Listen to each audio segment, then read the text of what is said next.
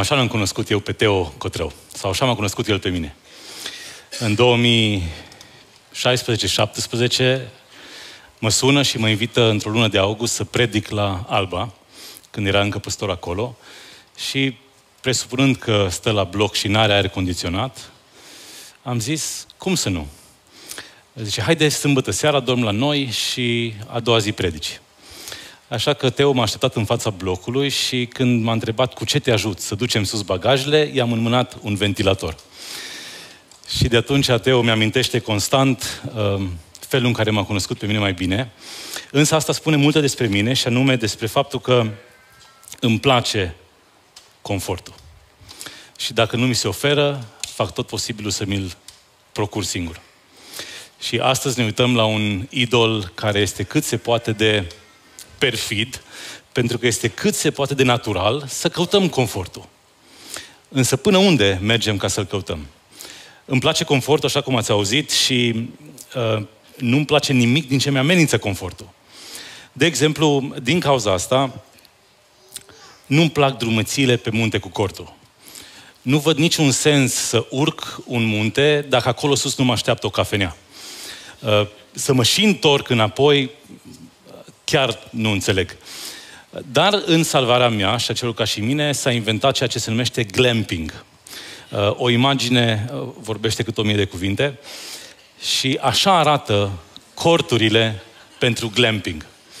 Uh, glamping este un cuvânt compus, o combinație între glamour și camping. Scopul este cât se poate de clar să ofere facilitățile de lux și confort pe care le avea acasă, Chiar dacă ești departe în natură.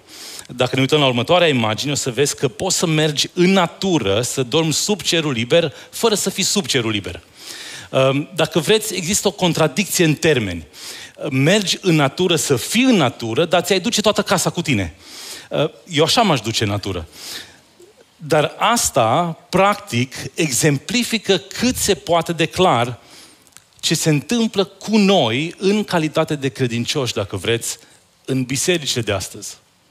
Pentru că ne creăm o biserică atât de confortabilă încât cu greu o vom mai părăsi în termenii mergeți și faceți ucenici. E prea bine aici, de ce să plec? Ne construim niște case atât de confortabile încât cu greu mai visăm la locuința noastră de sus ne înconjurăm cu niște prieteni atât de asemenea nouă, încât cu greu am avea nevoie de altcineva din afară sau ne-ar mai interesa despre alții din afara cercului nostru de prieteni. Așa că cultura asta confortului este cât se poate de naturală și prezentă în viața noastră, mai ales când zici, băi, am scăpat de comunism, în sfârșit avem belșug și putem să ni le procurăm. nu e așa? Oarecum ne scuzăm că tânjim după el. Nu că ar fi o problemă atunci când tânjești. Hai să ne uităm să vedem cum arată cultura asta a confortului dintr-o perspectivă seculară, ca mai apoi să mergem înspre noi, astăzi, aici, din punct de vedere scriptural. Așa că o cultura confortului se referă la societatea aceea care uh, prioritizează reducerea disconfortului fizic, emoțional și social prin tot felul de adăugiri vieții care fac viața mai frumoasă. Așa că câteva caracteristici. În primul rând, evităm riscul și provocările. De ce am riscat ceva ce pune în joc ceea ce am obținut deja? De ce am mai intrat în provocări profesionale, sociale, chiar religioase, dacă am ajuns într-un punct în care în sfârșit mi-e bine? Apoi suntem dependenți de tehnologie, nu-i așa? Și ne-am uitat la idolul tehnologismului. Și tehnologia asta a pornit de la a facilita confortul. Vrem să avem aparate în bucătărie, vrem să avem aparate în garaj, vrem să avem uh, diferite gadgeturi care toate facilitează confortul, însă devenim dependenți de acele gadgeturi și aparate. Uh, nu avem internet de vineri acasă și să vedeți ce dependențe se, des, se descoperă când nu ai internet acasă. Da, stăm în Florești. Um, în cultura confortului, concentrarea este pe bunăstarea personală. Nu e așa că strângem, strângem, strângem, avem grijă de, mentalitate, de sănătatea noastră mentală, fizică, ă, socială și nu mai vrem să intrăm în relații care ar putea să pună sub semnul întrebării această bunăstare. Toate astea sunt potențate de consumerism. Astăzi suntem într-o generație care niciodată n-a fost atât de bogată ca până aici. Și ne permite multe lucruri. Uitați-vă câte sute de euro aveți în buzunare prin telefonul pe care îl purtați acolo. Gândiți-vă la lucrurile astea și vedem cum consumerismul potențează fericirea și deseori o și condiționează. Apoi evităm disconfortul emoțional și tendința este de a evita situații care par a genera stres, anxietate, uh, disconfort emoțional, nu ne lăsăm provocați în discuții și nu provocăm în discuții ca nu cumva să dăm la o parte confortul. Toate astea ne fac să scădem din punct de vedere a rezilienței. Constant în confort, constant în plăcere, constant fără a depune efort, nu mai suntem în stare să susținem o muncă îndelungată. Nu mai suntem în stare să trecem prin situații dificile cum am fi trecut mai de mult. Se generează și relații superficiale în cotrăsătură. Fiindcă ținem relațiile la distanță și nu intrăm în contact foarte profund, ca nu cumva să riscăm aparențele. Și apoi, lipsa creșterii personale de orice fel este un rezultat destul de clar. Însă toate astea sunt doar niște trăsături dintr-o perspectivă seculară. N-am amintit nimic de Dumnezeu, nu ne-am uitat deloc în Scriptură, dar suntem, poate, într-o generație care e definită de trăsăturile astea. Dar hai să vedem, dacă ne uităm la idolatria confortului, la o perspectivă biblică, ce vedem acolo. Și aș începe spunând că creștinismul nu a fost și nu este despre confort. Creștinismul nu a fost și nu este despre confort de la nașterea lui Hristos în cele mai rele condiții la nașterea creștinismului pe o cruce și dezvoltarea lui prin persecuție și martiraj. Toate astea ne arată că nu există creștinism confortabil. Dacă ne simțim confortabil, s-ar putea să nu fie cea mai pură formă a creștinismului. Așadar, în sens biblic, idolatria se extinde dincolo de închinarea la idol fizici și include orice lucru iar lua locul lui Dumnezeu și este considerat prioritar în fața relației cu Dumnezeu. De aceea confortul poate deveni un idol. Și atunci când devine obiectul principal al vieții cuiva, care duce la automulțumire, la diminuarea zelului pentru probleme spirituale și o viață trăită evitând sacrificii, provocări, care adeseori însoțesc credința creștină. Hai să ne uităm la câteva texte care vorbesc adiacent despre ceea ce poate să fie idolul confortului. Și v-aș invita să ne uităm în Matei 6 cu 24. În Matei 6 cu 24 textul spune așa, nimeni nu poate sluji la doi stăpâni. Și când vorbim despre doi stăpâni, putem să punem acolo Dumnezeu și ceva. În cazul în care confortul este pus acolo și este stăpânul vieții tale, prin faptul că tot ceea ce ai tu mai bun generezi pentru a-ți facilita și întreține confortul, s-ar putea să ai o problemă. Căci sau va urâ pe unul și va iubi pe celălalt, sau va ține la unul și va nesocoti pe celălalt. Observați?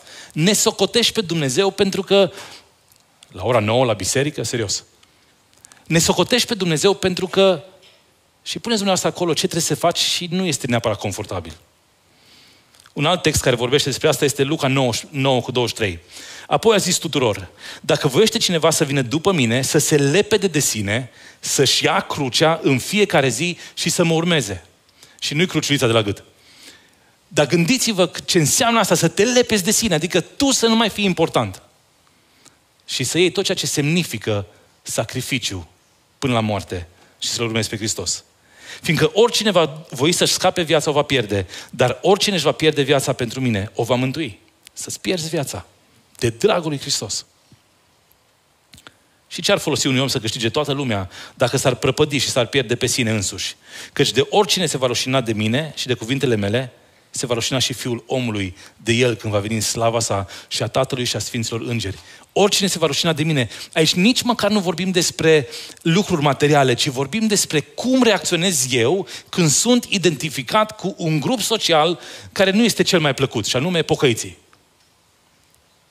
Oricine se va rușina de mine, dacă tinzi să zici nu vreau să fiu identificat cu pocăiții, s-ar putea să ai o problemă. Un alt text vorbește în 1 Timotei 6 cu 10, căci iubirea de bani este rădăcina tuturor relelor și unii care au umblat după ea au rătăcit de la credință și s-au străpus singuri cu o mulțime de chinuri. Și iubirea asta de bani este cea care facilitează confortul și s-ar putea să zici, bine, dar eu nu iubesc banii. Nu, dar iubești canapeaua aia de piele și iubești mașina respectivă și iubești casa aia mai mare și îți nenorocești familia pe crucea confortului. Să nu spunem că nenorocim relația cu Dumnezeu. Apocalipsa 3 este un alt text care vorbește despre asta, și anume, Îngerul lui Bisericii din Laodicea să-i scrie, iată ce zice cel ce este amin, martorul credincios și adevărat, începutul zidirii lui Dumnezeu. Și anume, știu faptele tale că nu ești nici rece, nici în clocot. O, dacă ai fi rece sau în clocot, dar fiindcă ești căldicel, nici rece, nici în clocot, am să te vărs din gura mea. Pentru că zici, sunt bogat, m-am îmbogățit și nu lipsă de nimic și nu știi că ești ticălos, nenorocit, sărac, orb și gol. Eu mustru și pedepsesc pe cei pe care iubesc. Fi plin de râvnă, dar și pocăiește-te, încheie textul. Vorbim despre confortul și bogăția care te conduc în punctul în care zici, mi-e așa de bine. Mi-e așa de bine. Nu mai tinzi pe mai mult, nu mai te chinui pe mai mult. Ți-e bine așa cum ești.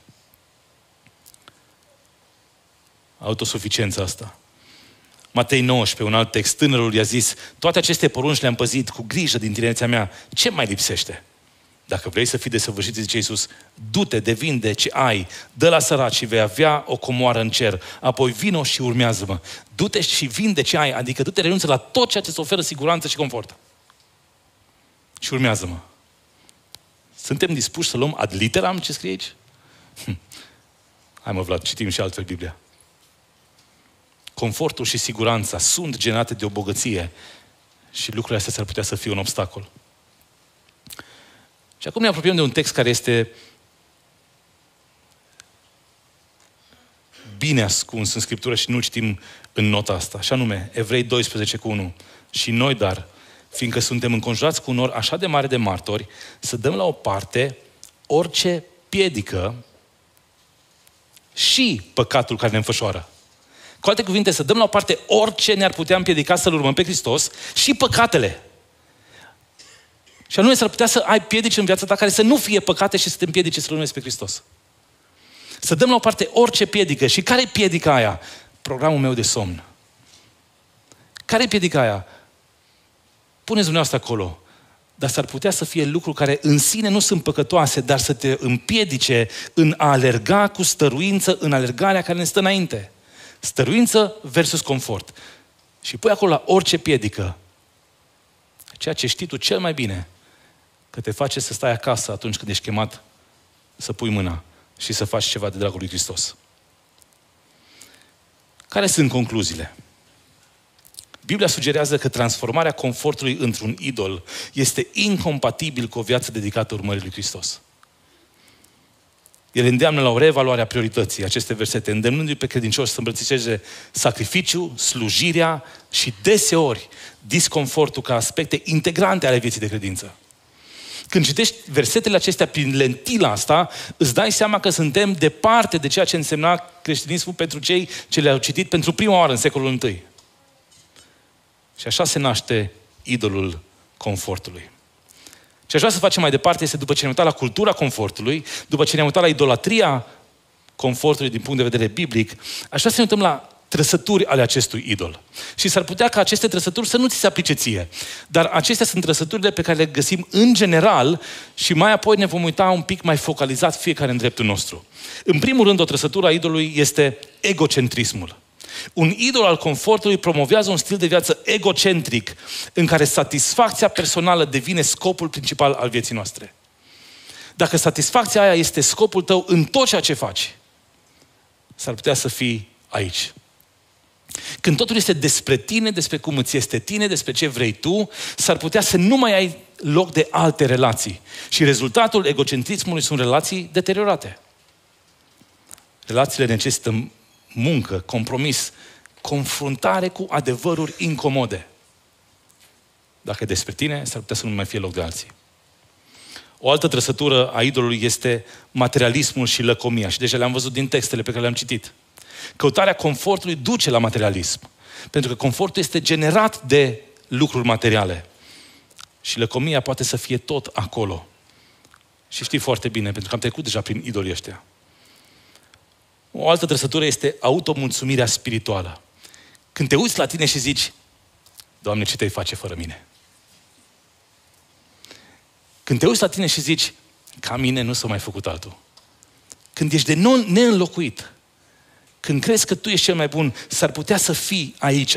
Și trăsătura asta a automulțumirii, a te uiți în oglindă și nu știi cum să-i mulțumești mamei tale că te-a făcut așa de fain. Ai o problemă. Și mai ales când pui lentila spirituală pe această automulțumire, s-ar putea să fim acolo. Și despre asta e vorba, despre a fi căldicel. Că nu ești în clocot, ești căldicel, dar tu te mulțumești că ești căldicel. Păi de eu măcar sunt căldicel, altul e rece. Și standardele noastre sunt aici. O altă trăsătură acestui idol este frica de sacrificiu și de suferință. Gândiți-vă cât de des ne rugăm, Doamne, păzește-mă, nu mă lăsa să. Și asta e în contrast cu ceea ce ne cheamă Hristos, și anume să participăm în suferințele lui Hristos. Filipen 3 cu 10. Cum citim texte ca și astea? Doamne, slavă ție că sufăr pentru tine. Nu-i pentru secolul 21. Apoi, cum să te bucuri de suferințele tale știind că suferința produce perseverență? Doamne, dar mai ai? Mă mai apeși? Și el spune, nu, nu. Tu ai nevoie de asta. Mulțumesc, Doamne, mă descurc și fără. O altă trăsătură este neglijarea disciplinelor spirituale. Disciplina este opusul confortului. Să te trezești, să postești, să te rogi, să citești.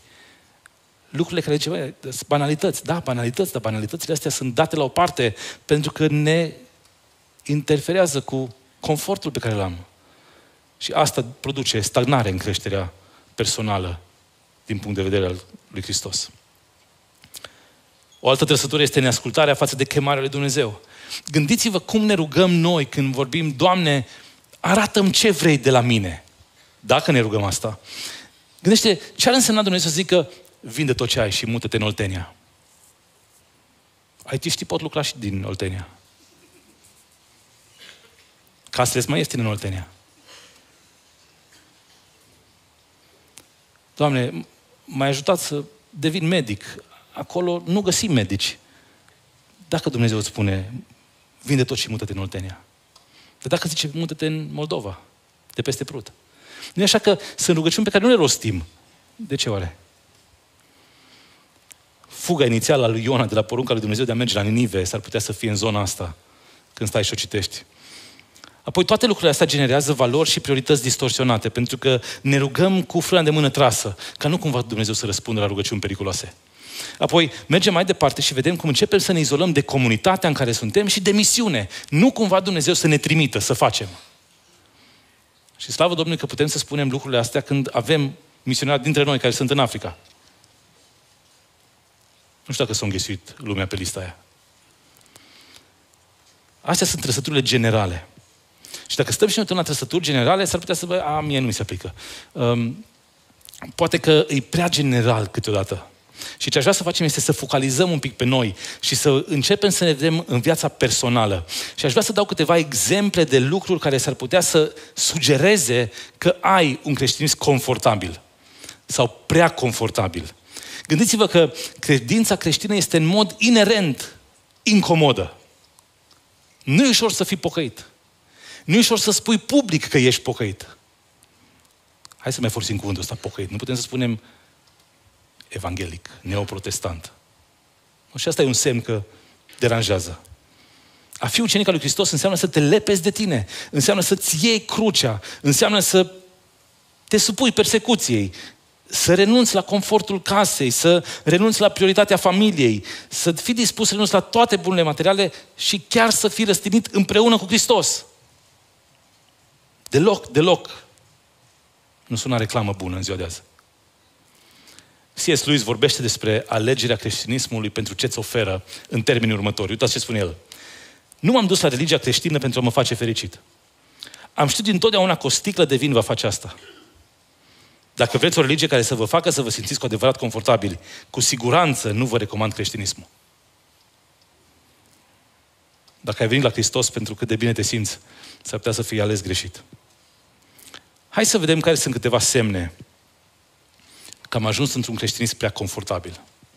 Și dau câteva exemple pe care aș vrea să le luăm la rând, încercând să ne aducem fiecare discuția asta în dreptul nostru. În primul rând, pentru tine nu există paradoxuri, tensiuni și întrebări nerezolvate. Toată Scriptura e clară. Uh, când citești Biblia, tu le înțelegi pe toate. Uh, suverenitatea lui Dumnezeu, care coexistă cu acțiunea umană și libertatea umană, nu e un paradox pentru tine. Tu le știi. Trinitatea, serios, astea de mult am priceput. Apoi, cum lucrează și cum cercetează Duhul Sfânt pe tine personal, din nou tu le înțelegi. Ca să numeri doar câteva aspecte. Nimic nu te mai zguduie, nimic nu te mai impresionează, totul e clar. Vii la biserică că ce să faci duminică dimineața? Dacă ești acolo, dăm voi să spun, creștinismul s-ar putea să fie prea confortabil pentru tine. Reversul acestei poziții este că vedem viața creștină ca pe o listă de așa da și așa nu. Asta facem, asta nu facem. Și când vedem doar o listă de da și nu, noi nu mai stăm să frământăm lucrurile. Noi nu mai căutăm în adâncul sufletului ce gândim, cum gândim, cum ne uităm. E foarte ușor să te uiți la așa da și așa nu. O altă trăsătură care s-ar putea să-ți fie mai aproape, și anume, prietenii și colegii de serviciu sunt surprinși să afle că ești creștin care mergi la biserică. Asta mi se pare periculos. Să mergi la muncă și într-o discuție accidentală să reasă că tu mergi la biserică. Să fie surprinși toți. Tu mergi la biserică? Hm, n-am știut. Nu se vede.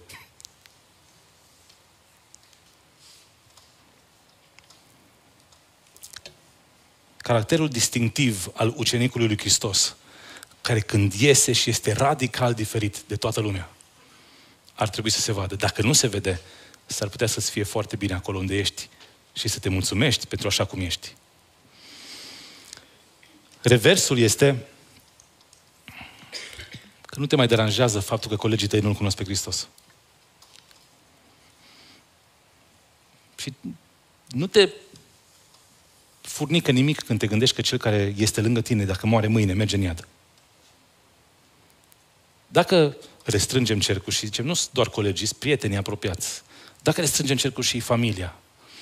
Întrebarea e când a fost ultima oară când am tânjit în rugăciune pentru prietenii noștri ca să-L cunoască pe Hristos. Dacă nu-ți mai aduce aminte de rugăciunea aia, s-ar putea creștinismul să fie prea confortabil. Hai să mergem mai departe. Nu te gândești niciodată la predica de duminică. Acum, după asta s-ar putea să nu ai de ce. Și nici măcar nu-ți amintești de ea vii la biserică când n-ai alte planuri de weekend, iar a ține duminica liberă în calendar ca să ajungi la biserică nu e o prioritate. Și când trăim într-un confort material sporit și biletele la Wizard sunt ieftine primăvara, s-ar putea să nu vezi un punct special în viața ta ca duminică să fii acasă. Și se adună două, trei, patru duminici și tu n-ai trecut pe la biserică și nici nu simți că ai lipsit. Și dacă simți, când te reîntâlnești cu prieteni, a, de când nu te-am văzut. Păi da, mai rar la biserică și eu și tu. Mie mi se aplică că vin rar la biserică. Că sunt alte biserici. Dacă, duminice, dacă predica de duminică este așa de ușor de uitat, dacă nu ești cu nimic implicat în a fi aici, prezent și a poate chiar lua notițe, poate ați nota niște lucruri, a face o poză la un citat, s-ar putea să vii aici, că e cultural să fii aici și să fie foarte comod să fie aici. Un alt punct este următorul. Nimeni și nimic din biserica ta nu te deranjează vreodată. Dacă mergi la biserică cu oameni cu care este întotdeauna ușor să vorbești, întotdeauna e distractiv să fii în preajma lor, întotdeauna se aliniază îndeaproape cu opiniile și părerile tale, s-ar putea ca creștinismul tău să fie prea confortabil. Niciodată nu trebuie să pui întrebări incomode, niciodată nu ți se adresează întrebări incomode. Adevărul spus în dragoste nu-i cazul să-l amintim, fiindcă nu ne spunem adevărul de genul ăla care să ne facă incomozi. E mai confortabil să ridici din numeri când îl vezi pe ăla ce păcate face, decât să-l abordezi și să-i spui sunt lângă tine și aș vrea să te ajut dacă pot. Nu abordăm ca nu cumva să ne incomodăm relațiile. Chiar dacă am face-o pentru a da la o parte vreun păcat. Reversul este că nimeni din biserica ta nu poate vreodată să spună că tu crești într-un anumit domeniu. Că nu ești destul de vulnerabil față de nimeni și nu se vede creșterea față de nimeni. Hai să mai luăm un exemplu, și anume, dacă credința ta creștină nu-ți confruntă niciodată idolii și nu-ți provoacă obiceiurile păcătoase, ci doar te afirmă așa cum ești, s-ar putea să mai fie încă un semn că ai o credință prea confortabilă. Vii la biserică și pleci de la biserică exact cum ai venit. Că pe tine nu te-au atins. O zburat peste capul tău problemele pe care le discutăm aici. Credința sănătoasă nu te acceptă și te încurajează în tot ceea ce faci, ci te șlefuiește, te modelează și deseori procesul ăla doare. Rafinarea credinței doare. Citim versete de gen Efeseni 1 cu 4 și ne uităm la faptul că El ne-a ales. Dar nu citim și faptul că ca să fim sfinți și fără prihană. Ca să fii fără prihană, trebuie să lași în urmă niște lucruri și doare când le lași și renunți la ele. O altă trăsătură este faptul că rugăciunile tale, ale mele, se învârt în jurul menținerii unei vieți fără probleme. Apoi, devii mai des un arbitru decât un judecător, un jucător. Și pasiunea pentru biserică este în scădere, pentru că Dumnezeu este ținut în lesă. Hai să le traducem pe fiecare. Ce înseamnă că rugăciunile tale se învârt în jurul menținerii unei vieți probleme, fără probleme? Și anume, Doamne, dăm, Doamne, fămi. Doamne, dăm, Doamne, fămi. De la egocentrism vine asta. Dacă când eu nu știu să zic decât Doamne, dăm, Doamne, fămi, s-ar putea să caut confortul mai mult decât pe Hristos. Mai des un arbitru decât un jucător, să vii la biserică și să pleci de aici cu un cinism și spirit critic de invidiat. Ăla ne-a făcut, ăla s-a bâlbâit, ce tare a fost basul, la grupe la copii, dar cum s-a purtat cu copilul meu. Și devenim arbitri, pentru că putem să amendăm repede și scoatem cartonașul galben. Pentru că nu știm cum miroase gazonul de aia, că nu coborâm în teren. Și îl ținem pe Dumnezeu în lesă. Adică lăsăm să meargă atât cât îl lăsăm noi. Îi punem lesa și nu lăsăm să intre în anumite domenii în care s-ar putea să creeze mult deranj. Și un alt lucru care pe mine m-a pus pe gânduri este faptul că nu ești entuziasmat de rai și că la un moment dat îl vei vedea pe Dumnezeu față în față. Și când am citit uh, lucrul ăsta la un autor, mi-am adus aminte de un lucru care pe mine nu mă entuziasmează și nu știu de ce. Mă, Biserica Via organizează de ceva vreme excursii în Israel, s-a organizat. Și noi din 2012 tot încercăm să ajungem și tot s-a anulat.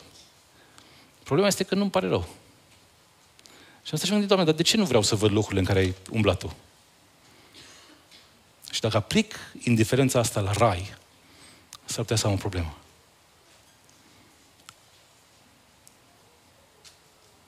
Cântăm, într-o zi va fi totul nou, dar oare tânjim ca totul să fie nou? Nu știm cum arată cerul, nu ne interesează foarte tare, că e bine aici și acum. Și când ne gândim la lucrurile astea, s-ar putea să avem o problemă, pentru că nu tânjim să-L vedem pe Hristos față în față. Nu tânjim să lăsăm totul în urmă și să mergem acolo. Când e greu, da, Doamne, ducă-se odată. Dar când e bine. Nu glume de genul, Doamne, dacă n-ai venit acum, mai stai un pic, că numai ce mi-am schimbat casa, să mă bucur de ea. Doamne, dacă n-ai venit până am dat bacul, acum când l-am dat, mai stai un pic, să mă bucur de facultate. Dar stau să mă însor mai un pic. Hai, nu te grăbi, Doamne Iisuse. Fiindcă nu tânjim ca Dumnezeu să se întoarcă, să-L trimită pe Domnul Iisus și să ne ia cu El odată în cer. S-ar putea să fie prea confortabil aici ca să vrem să fim acolo. Hai să mergem în, în final către cum înfruntăm idolul ăsta. Cum îl înfruntăm și cum reușim să scăpăm de el. Și aș vrea să ofer câteva soluții cât de cât practice. Și aș vrea să stăm pe gânduri, fiecare în dreptul nostru. În primul rând, nu ridica preferințele bisericii tale ca fiind standardul de aur. Acum, venim aici că ne place. Unii venim obligați de soție sau de soț, sau... dar venim în principiu că ne place aici. Dar dacă ne place aici, nu înseamnă că doar aici se fac lucrurile bine. Nu înseamnă că stilul pe care îl adoptăm aici este singurul stil bun. Dacă noi ne uităm la alte biserici și ne uităm de sus superior, s-ar putea să avem o problemă. Să te uiți pe internet și să-i vezi pe alții cum cântă, coral, cum vezi fanfară, cum vezi uh, poezii recitate în față, care nu sunt deloc pe gustul nostru aici. Dar nu înseamnă că sunt mai slabe ca închinare decât ce facem noi aici. Așa că să nu ridicăm preferințele bisericii de aici la rang de standard. Ăsta e confortul familiarității. Ni familiar, ni bine, când suntem provocați de altceva, reacționăm. De aceea, al doilea pas, învață și creează parteneriate dincolo de biserica ta. Ni ușor să mergem să ne închinăm și să stăm în biserici care sunt asemănătoare cu noi. Dar cum ne simțim când suntem chemați să mergem la o biserică de romi, într-un sat la 50 km de Cluj? Se putea să nu fie foarte confortabil. Dar cum este să mergi într-o biserică în care se cântă cântări pe care tu nu le-ai auzit în viața ta, fiindcă sunt din cărțile negre pentru cine știe? Tot închinare și aia, dragii mei.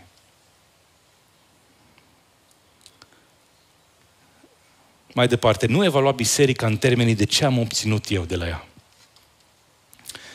Deseori s-ar putea să pleci de aici și să zici, nu mi-a plăcut închinarea. S-ar putea să pleci de aici, predica a fost... Mm. Ce ar fi să pleci de aici și să te întrebi, eu cu ce am contribuit la închinarea de azi?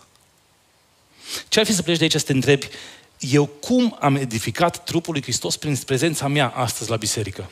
Sau cum a fost glorificat Dumnezeu de ce s-a întâmplat în clădirea asta? Sau ce atribute ale lui Dumnezeu au fost evidente în timpul închinării? Puneți întrebări care să te provoace, să te facă să gândești mai mult, să te cerceteze. Fiindcă dacă pleci de aici vis-a-vis de ce ți-a plăcut și ce nu ți-a plăcut, s-ar putea să fi venit pentru motivul greșit. De aceea mergem mai departe și spunem în felul următor, învață să te închinui Dumnezeu indiferent de stilul muzical. Și mergem deseori și ne uităm la stilul nostru care e asemănător Hillsong, dacă vreți, sau este uh, contemporary Christian. Și nu mai știm să ne închinăm pe altă muzică. Și fiindcă nu mai știm, ne uităm superior la cei care o fac altfel încă un lucru. Vino mai devreme la biserică și pleacă mai târziu. Chiar dacă asta înseamnă mai multe discuții incomode cu oameni mai ciudați ca tine. Să vii mai devreme înseamnă să stai să vorbești cu oamenii, să-i cunoști, să vezi că sunt diferiți. Poate nu știi cum îi cheamă, nici eu nu știu pe toți cum vă cheamă, dar încercăm, dacă îi spui, dăm voie să mă rog pentru tine și spunem un motiv de rugăciune, s-ar putea să ții minte până data viitoare și să ai un nume pe care să-l și folosești. Când venim pe, la biserică pe furii și plecăm repede de la biserică, s-ar putea să fi venit să bifăm ceva, dar nu să fim parte din trupul lui Hristos. Atunci când nu deranjăm niciodată, nu ne deranjăm să facem conversație, mulți sfinți vor rămâne pur cunoștințe și nimic mai mult. Încă trei. Dăruiește până la punctul în care simți lucrul ăsta în bugetul tău. Cum Biserica Via este o biserică care dăruiește și de câte ori a fost o chemare pentru dărnicie, lumea s-a mobilizat. Dar cred că putem mai mult. Zecioala e o poruncă, dărnicia nu e o poruncă. Dacă reușim să ne dăm zeciuiala, cred că putem mai mult. Dacă facem prioritate din biserică și slujire, nu va fi prea mult. Ca parte de sacrificiu, ca parte de slujire, este și generozitatea cu care venim înaintea lui Dumnezeu. De aceea, fi flexibil de dragul misiunii. Fii flexibil să fii chemat, să mergi, să dăruiești, să pui mâna, să te implici. Deseori lucrurile sunt prea comode ca să mai fim și flexibili. Lasă dintr-o ieșire pe an, lasă dintr-un weekend în care vrei să pleci ca să fii în alt loc unde e nevoie de tine. Și sunt multe locuri în care e nevoie de noi. Și în ultimul rând, nu renunța când lucrurile devin grele.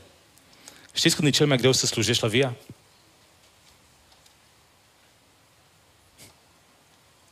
În august, când sunt concediile, la Paști și la Crăciun. Mai ales dacă Crăciunul nu pică vineri, sâmbătă, duminică. Că venim duminică la biserică și iar trebuie să și luni și marți și miercuri sau cum trebuie să facem program.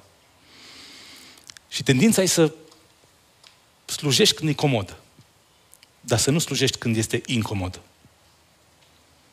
Scriptura ne învață cu totul altceva.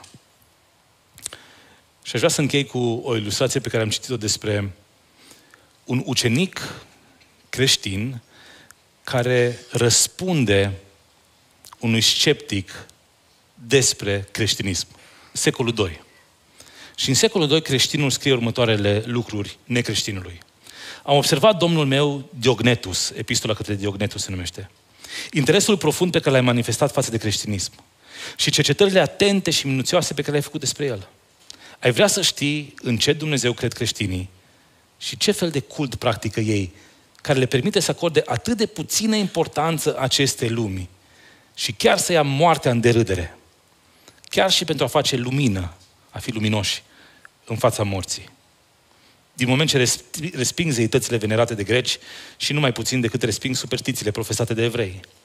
Sunteți curios de altfel în legătură cu afecțiunea frățească și caldă pe care o simt unii față de alții. S-a observat acolo? Iau chiar moartea în derâdere și sunt luminoși în fața morții. Și sunt curios câți martiri a văzut omul ăsta până a putut să observe lucrul ăsta. Câți oameni au murit pentru Hristos ca să fie evident cum mor creștinii pentru Hristos. Și anume, seninii. Asta înseamnă să renunți la tot de dragul lui Hristos. Aș vrea să închei din nou cu Evrei 12, dar citesc patru versete de data asta. Și noi, dar fiindcă suntem înconjați de un nor așa de mare de martori, inclusiv martirii ăștia, să dăm la o parte orice piedică și păcatul care ne înfășoară așa de lesne, ca să alergăm cu stăruință în alergarea care ne stă înainte. Să ne uităm țintă la căpetenia și desăvârșirea credinței noastre, adică la Isus, care pentru bucuria care a fost pusă înainte, atenție, a suferit crucea, a disprețuit rușinea și șade la dreapta scaunului de Domnul lui Dumnezeu. Uitați-vă dar cu luarea minte la cel ce a suferit din partea păcătoșilor o împotrivire așa de mare față de sine, pentru ca nu cumva să vă pierdeți inima și să cădeți nu de oboseală în slutele voastre, ci de leneveală. Voi nu v-ați împotrivit încă până la sânge în lupta împotriva păcatului. Dacă confortul și căutarea lui este un lucru natural, dăm voi să spun că urmarea lui Hristos e un lucru miraculos.